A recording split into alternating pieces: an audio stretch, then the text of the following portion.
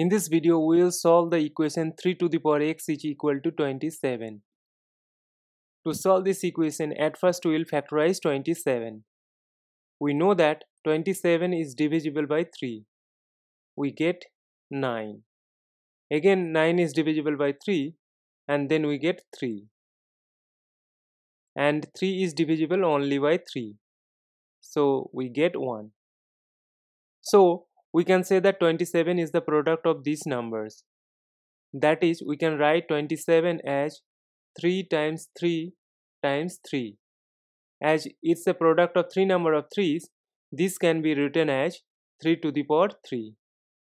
Now substituting the value of 27 here, this equation can be rewritten as 3 to the power x is equal to 3 to the power 3.